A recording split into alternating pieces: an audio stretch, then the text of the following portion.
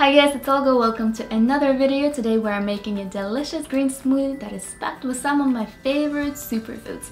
It helps to improve your digestion, your immune system. It also helps to increase your energy levels, clear out your skin, but most importantly, it tastes really good. So I know you guys are going to love it. Let's get started.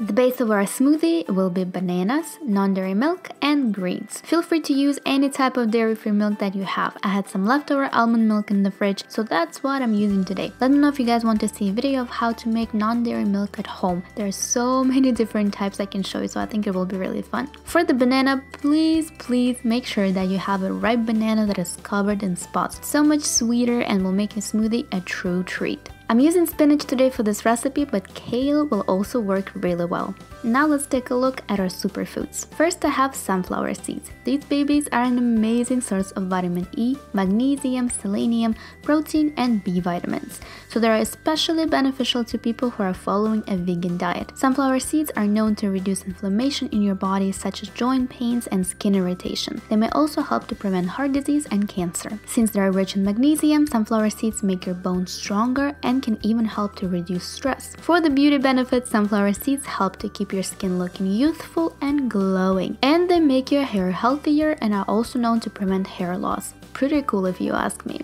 Next, I'm going to be adding some goji berries.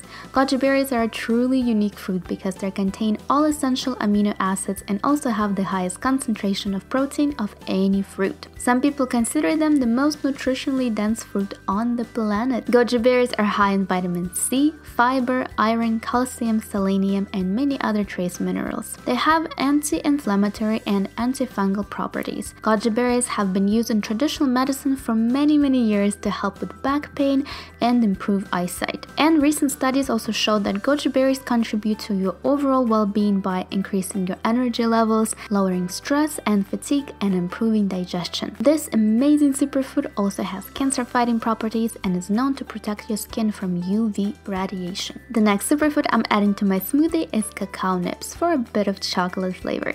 Cacao nibs are just small bits of cacao beans that are used to make chocolate. They're rich in many antioxidants, fiber, and compounds called polyphenols. Polyphenols are antioxidants that are known to reduce the risk of cancer, heart, and brain disease. Cacao nibs can also help improve your digestion and keep things moving smoothly. I'm also going to use some hemp seeds, which are an excellent source of omega fatty acids, protein, B vitamins, vitamin E, and other nutrients. Hemp seeds promote heart health and overall well being, as well as improve digestion, immune function, and increase your energy levels. Finally, I have some maca powder. Maca is a root that belongs to the radish family. This superfood is high in vitamin C, vitamin E, B vitamins, calcium, zinc, and iron. While maca powder is great for everyone, it is especially beneficial for women. It can help relieve menstrual pains and reduce menopause symptoms. It also helps with with mood swings, stress, and depression and promotes fertility. In addition, maca powder can help increase energy levels, clear acne, and even improve your sexual function if you need help in that department.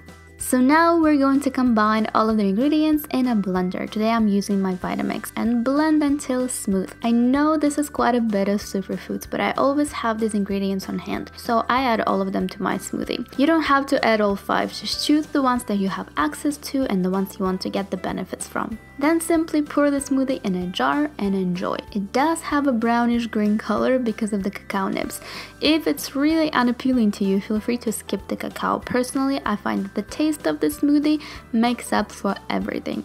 Thank you so much for watching. Really hope that you guys enjoyed this video. As always, please don't forget to give it a thumbs up to let me know that you did and subscribe to my channel down below for my healthy lunch and snack ideas.